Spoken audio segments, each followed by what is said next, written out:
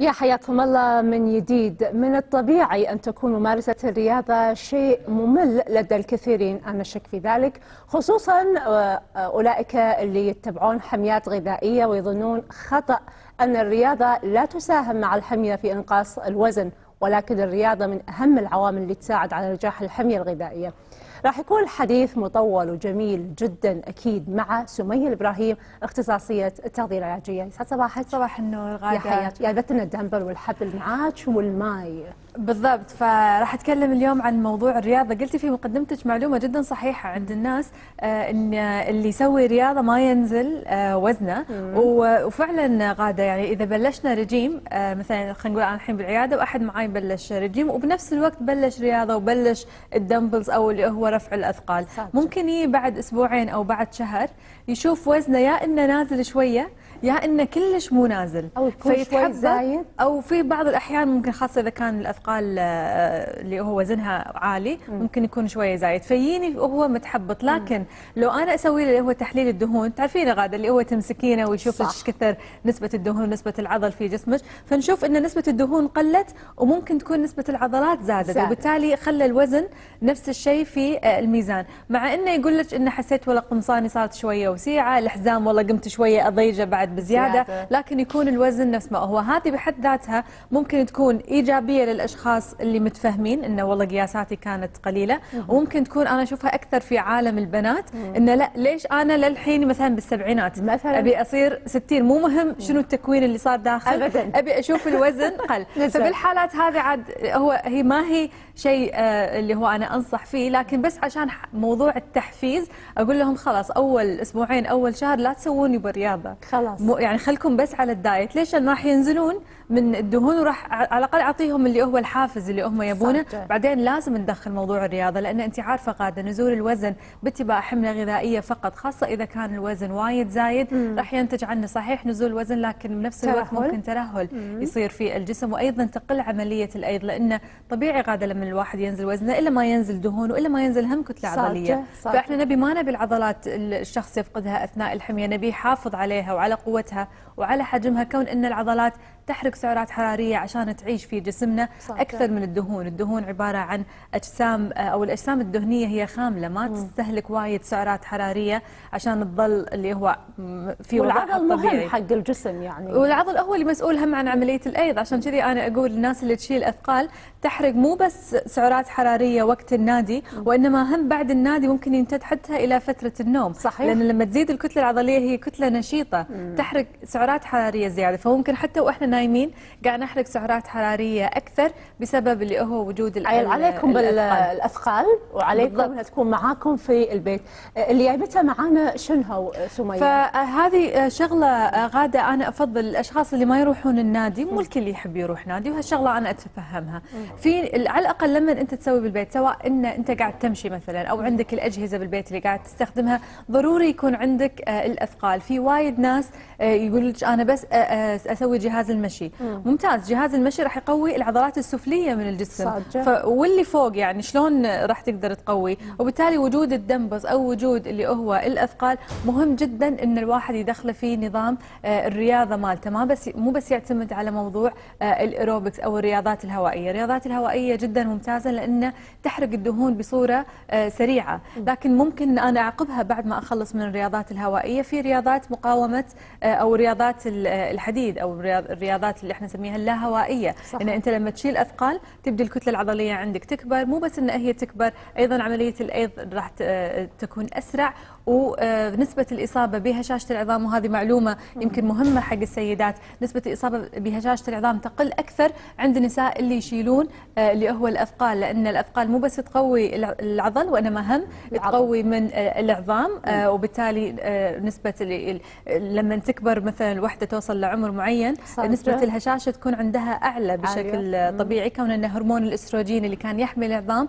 بدأ يقل. فإذا طاحت أو إذا تحركت هو حركة عنيفة تلاقين خاصة اللي عندهم هشاشة وايد قوية تبدأ بسرعة تنكسر. بالضبط. فمن الأسباب أو من الأمور اللي أنا أحمي آه، عظامي من الهشاشة آه، نظام طبعا غذائي متكامل. وأيضا موضوع آه، الأثقال. جايبه أنا معاي بطل ماي. إيه؟ ليش؟ لأن الحريم الكبار ما أقدر أقول لها أخذي أثقال. يعني حتى تلاقي مرة كبيرة مثلا؟ صعب استغراب انه حتى هذا اللي تستنكره تقول شنو هذا بالضبط يعني. حتى هذا اللي يمكن 750 كيلو أو 0.75 كيلو وايد آه، ممكن أنا أشوفه خفيف بس هي. بالنسبة لها تشوفه إيه. وايد ثقيل فبالحالات هذه أقول لها حتى البطل الماي العادي اللي أنتم عندكم اياه هو وزنه وايد خفيف بس مع التكرار لما. تسويه مثلا 20 مرة راح تبدأ صح. تحس إنه لا والله تعبت أو لما تسويه 10 مرات فأي أشياء موجودة بالبيت مو بالضرورة إن أنتم تروحون وتشترون أمور معينة آه، تكونون فيها اللي هو النادي في بيتكم حتى صحيح. الأشياء اللي موجودة إحنا عندنا بالبيت آه، في وايد أكونتات هم حلوة بال- باليوتيوب غاده يوريك إنه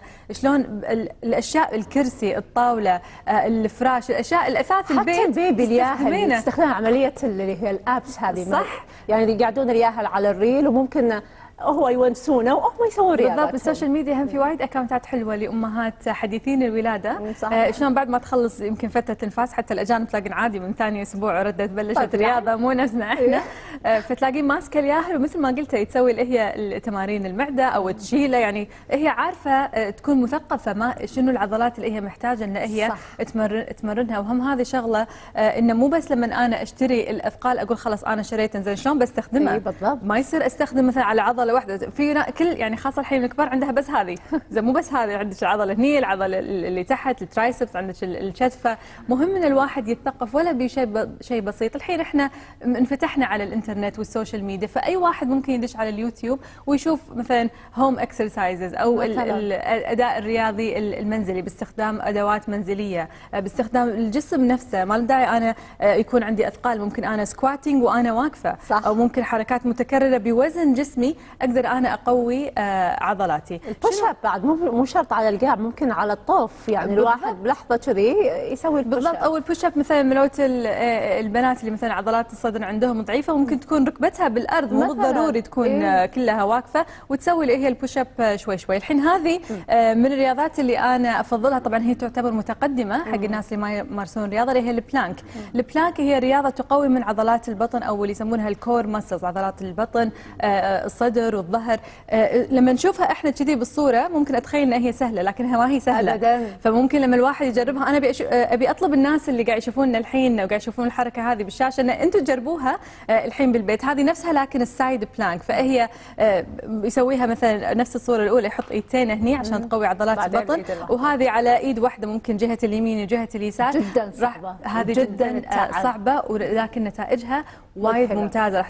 تشوفون ممكن تقسيم البطن آه، تبدي تطلع عضلاته آه، أنا آه، يعني حق الناس اللي متمرسين أفضل انهم يسوونها لمدة دقيقة طبعا دقيقة ممكن تكون صعبة أول مرة لكن إذا يقدرون يوصلون لها دقيقة تكون وايد ممتازة الصورة اللي موجودة الحين هي. لعبة في إيه. الوي إحنا عندنا من المشاكل عجيبة. اي إحنا يعني- عندنا من المشاكل اللي نواجهها غاده إن الأطفال دائما قاعدين على. البلاي ستيشن أو على الوي وقاعد يلعبون ألعاب فيها بس يعني ال- التمرين الوحيد قاعد يسوون تمرين أصابعهم بس. بس إيه. لكن الصورة اللي حطيناها قبل شوي هي في ألعاب موجودة مثلا الصورة هذه هني ففي اطفال موجودين لعبة هي بالوي لكن تتطلب حركة يعني حركة، هي صح. هي لعبة لكنها exercise بنفس الوقت فهم يا. قاعد يلعبون تنس يا إنه قاعد يلعبون آه، ركض آه، في هم جهاز معين يكونون حاطينه بالأرض يوقفون فوقه ويتحركون حق سباق حق مثلا لعبة سكواش فمنها ان هم أطفالك قاعد يتسلون وأنت قاعد تعطيهم لعبتهم اللي هم يحبون آه، يلعبون فيها صحيح. وبنفس الوقت قاعد يتحركون إحنا الحين اليهال عادة يروحون المدرسة يردون من المدرسة يتغدون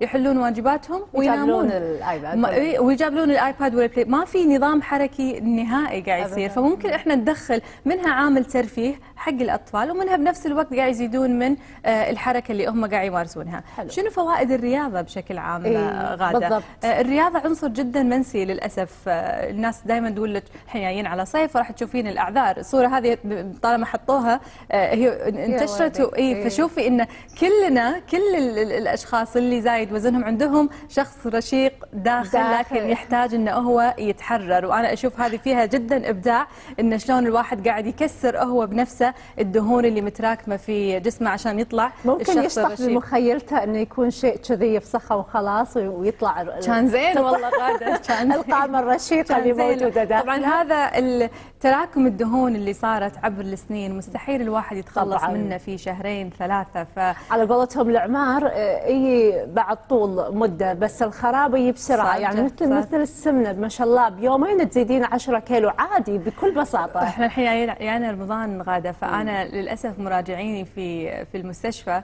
يخافون من رمضان لأنه يمتنون صح. لأن السكر يتلعوز. الأكل الرمضاني مع إنه فترة صيام طويلة فهو ال- المعتقد إن الواحد ينزل وزنه في رمضان لكن للأسف اللي قاعد نشوفه هني إنه غالبا يكون في زيادة, زيادة. آه، في آه، رمضان بسبب اللي هو الإقبال على السعرات الحرارية العالية اللي يميزها بعض الأطباق اللي موجودة في رمضان على عجالة نتكلم عن ال- الفوائد. بشكل سريع جدا سمية لأن كنا الوقت بيقصر يلا فمن الفوائد لممارسة الرياضة اللي هو تقلل من فرصه الإصابة بأمراض القلب وأيضا الكوليسترول وضغط الدم بشكل جدا ملحوظ. تقلل من مثل ما أنا قلت موضوع هشاشه العظام آه، بالنسبة حق الأشخاص اللي يعانون من الاكتئاب أو يعانون من اللي هو اضطرابات المزاج أو القلق الرياضة تحسن أشهد مزاجهم مش 100% صراحة. إيه. آه، طلبة ال- الجامعة تركيز عندهم قليل يعني أنا أذكر أيام الجامعة كنت أخلص جامعتي وأخلص اللاب متأخر وأروح النادي أتمرن أرد البيت أحس نفسي فريش إذا ما رحت النادي كان يومي طويل بالجامعة ورديت البيت أحس فعلا تعبانه تعب. لأن الرياضة أيضا تساعد في إفراز بعض الهرمونات اللي تعطيك السعادة وتنامين وتزيد وتنامين وتنامين يعني بأريحية عين. بالضبط إيه. ويكون يتحسن أيضا من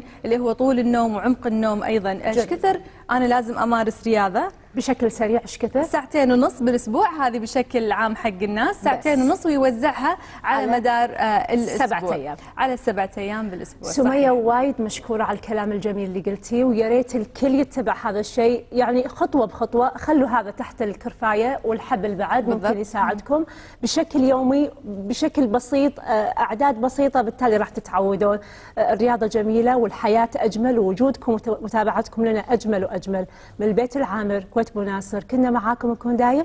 سلام.